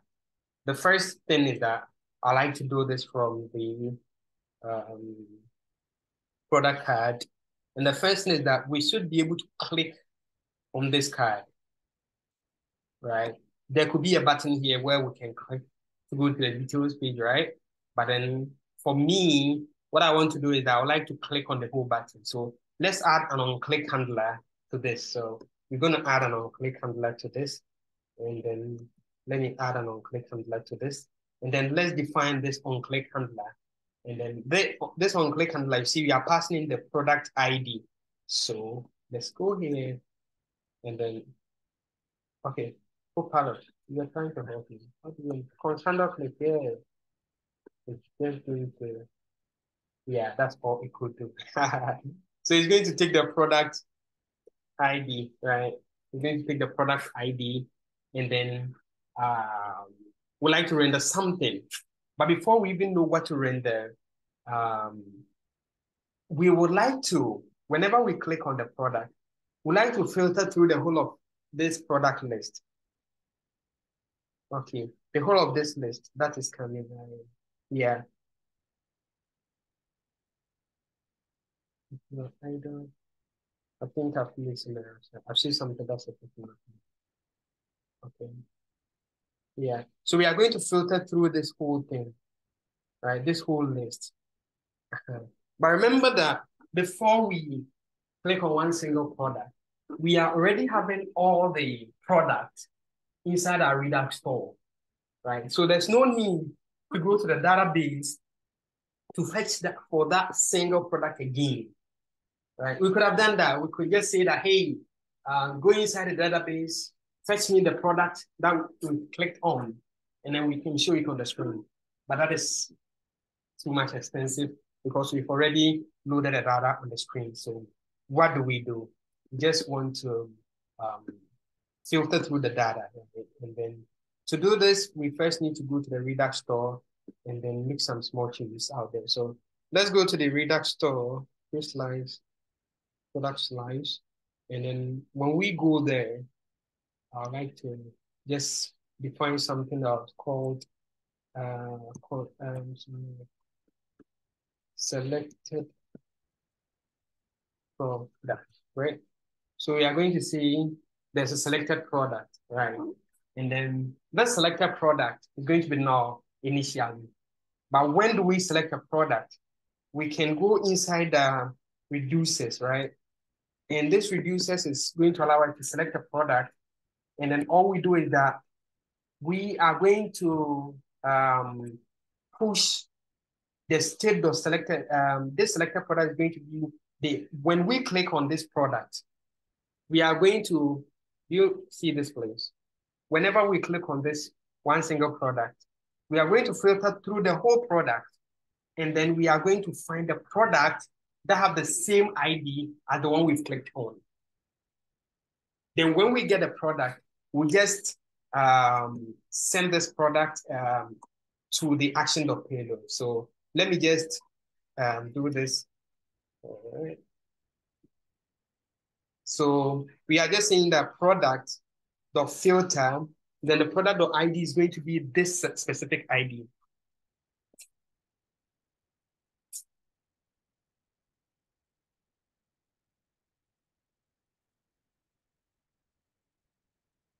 Okay, so we are going to filter the product, but you can see that we don't have the product. So what do we do?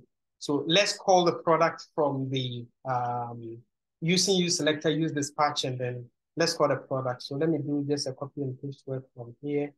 So from the um, product list. So this product, how did we get a product there? I think we use the use selector and use dispatch to um, over here. And then when we go here, we need to get this list. So we call um, okay, so get all product, right? Great. So all we are looking for is the get all product. And then we want also the selected um, um, products, right? Great. And then we are going to get grab these selected products. Let's see if we, the name is really selected product. We are going to grab them from here, and then we are going to use the use um, dispatch method right, to get these things.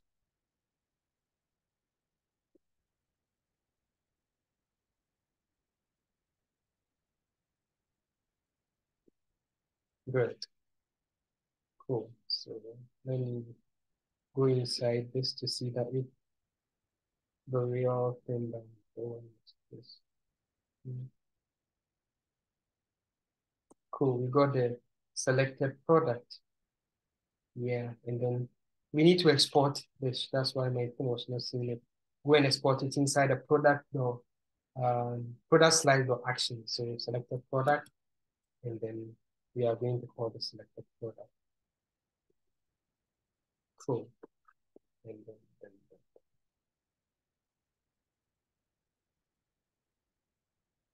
then. So this select product, select product is going to take some action, right? And we are going to respond with this. So all we do is that we are going to dispatch this select product action. So um, when we go here, we got the response product of filter the product, and we are going to find a product with this product ID. So let me just push this one here. And then once we get the this one, we like to dispatch this select product with response uh, like this there. I don't know what response are.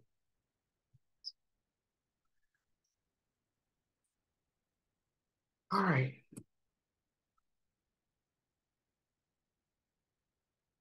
Let me go back in. All we're doing is that when we click on one specific product,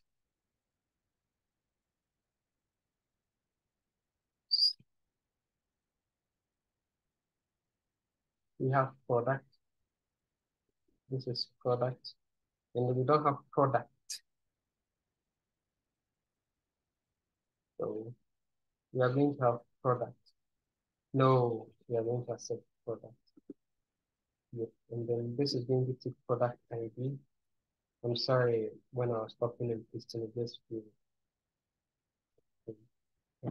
Okay, so when we click on a single product, right?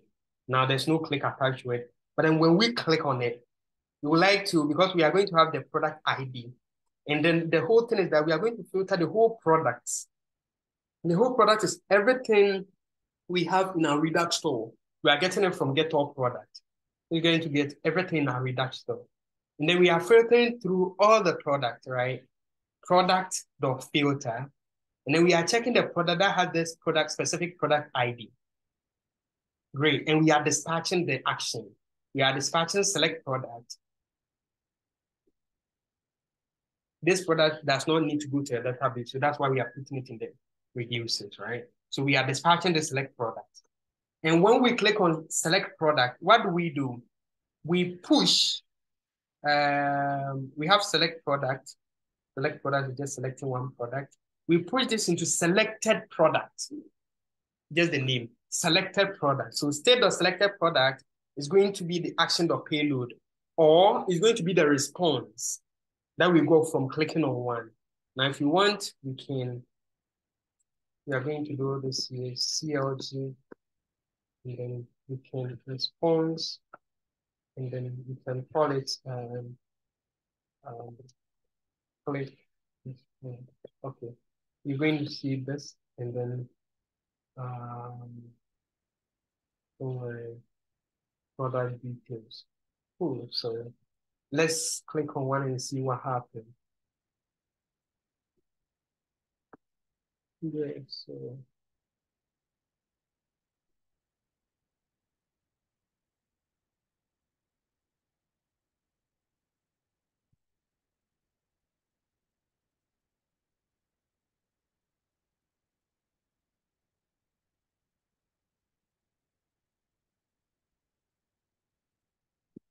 Yeah, always need to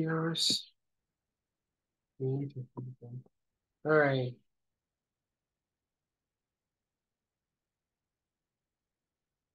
Selected select product um does not have a default export. Okay. All right, so select product. We have it here. Okay, select product. It.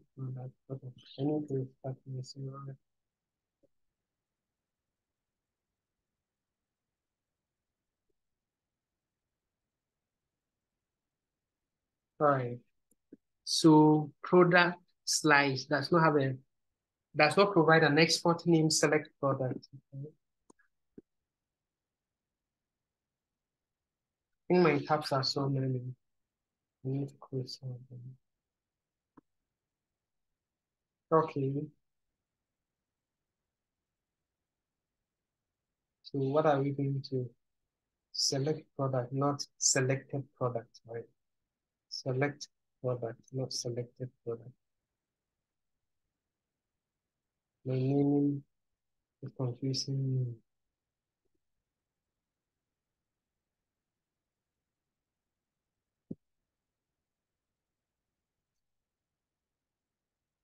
The tabs are so many. Let me close some of them.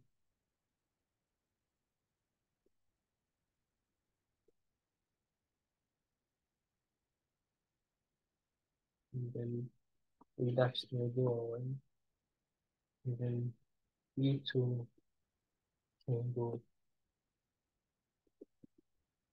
All right, So you have only three, right?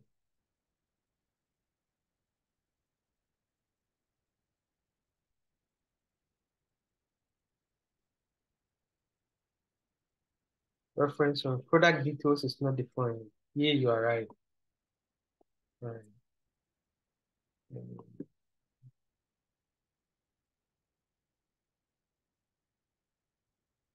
okay. I'm doing this on screen, so sometimes we may delay a bit. So I'm sorry. So product details.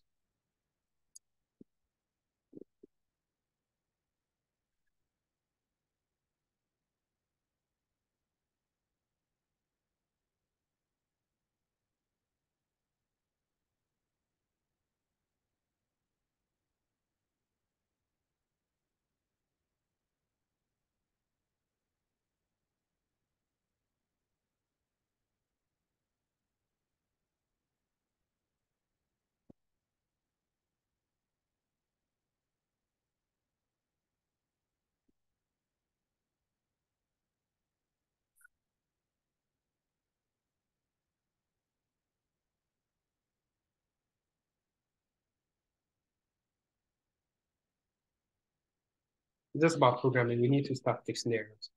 Right. In cool, we got a list of the whole product. Let's see if we select one. Good. Can you see this? when we click on one, it select the product, right? Let's click on another one. It select that product. Then we click on another one. We selected that product, right?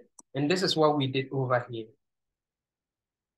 The moment um, we click on one of the products, not product card. Yeah, inside the product card.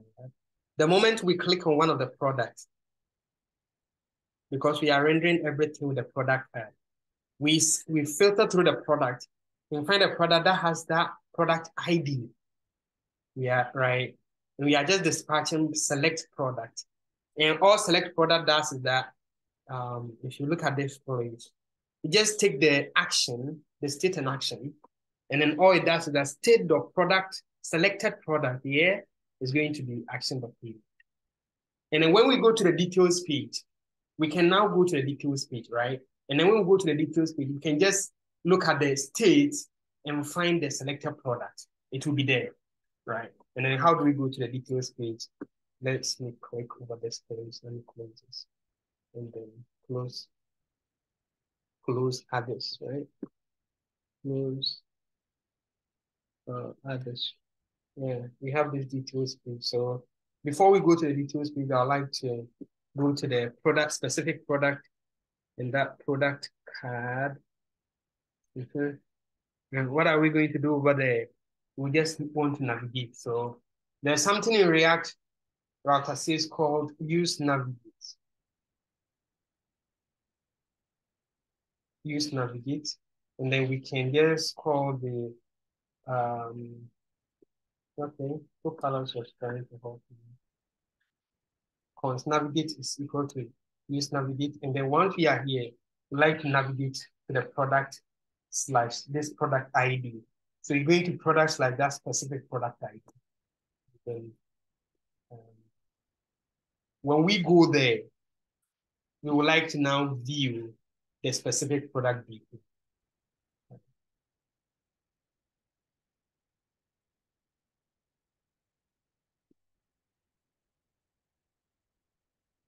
Now, for the purposes of time, let's not waste time. Let me paste what we are going to get here, and then let's discuss it.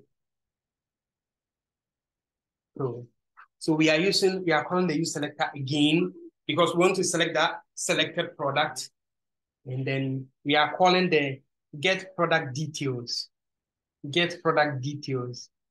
And this is going to be, I don't know if that's how I named it oops, I need to go and define this get product details are there. Let's go to the product slice. I've not defined this. So, uh, you know, we haven't this here, selected product. Just like we did for all these, we did for product error status. Let's also export the product details here. I'm sorry, selected product. Let's so, okay, export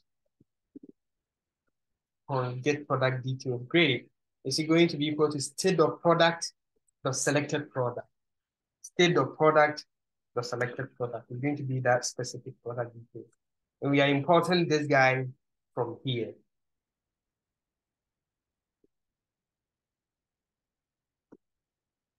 We are importing this guy, and then using user selector to get the data. I'm getting the container, and then we are rendering the data.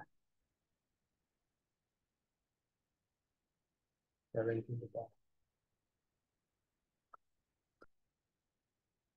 There may be some errors, but let's click on it and see, and then start fixing this. Cool. So once we click on it, it should take us to way. Can you see this? Look at this. Once we click on one specific product, it takes us to the products like that product ID. And I was, I'm using this React thing to go back, right? All we're doing is just seeing that uh, navigate minus one. Navigate minus one means go back, go back. So you can do navigate plus one, go forward, right? right, so we are getting the product details, right? And then we're just aligning with this design that we have the image is here, this guy is here. You can check the code we have it. But so far, this is what we got. in questions. Let's check if there are some errors in the code.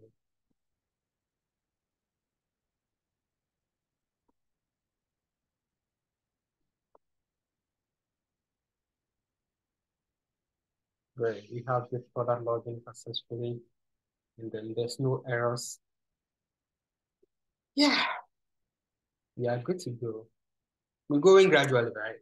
I think we need to, uh, okay, we're not receiving the props, so we need to do this. There's a console message I'd like to do. It was in the product card, right? No, we took it out.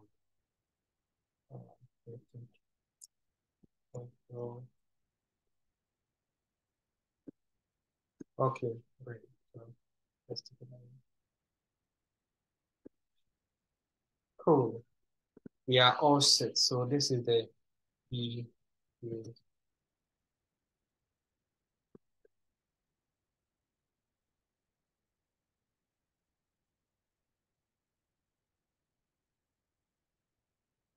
Cool.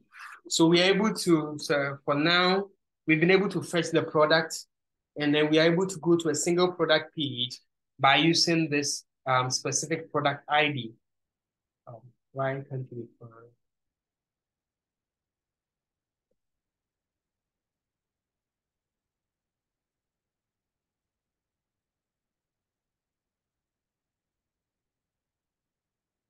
Yeah. Can find it.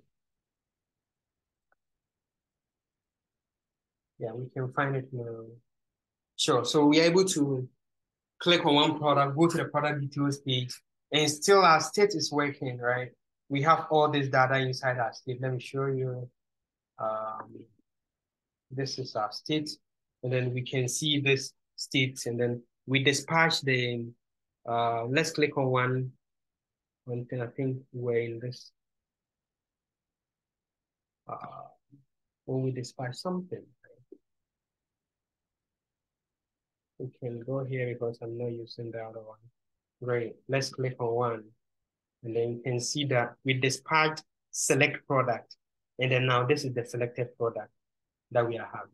And then we can dispatch another one. We can go dispatch another action. And look, we dispatch another action and it's a different product altogether. Right. This is this is Redux for me. The next part of this whole thing is to create authentication and make sure that users can um, order the product, right? And if someone is an admin, he can create a product. Authentication, authorization, right? And it's going to be a lot of things that we are going to do. So um, I'd like to see you in the part two.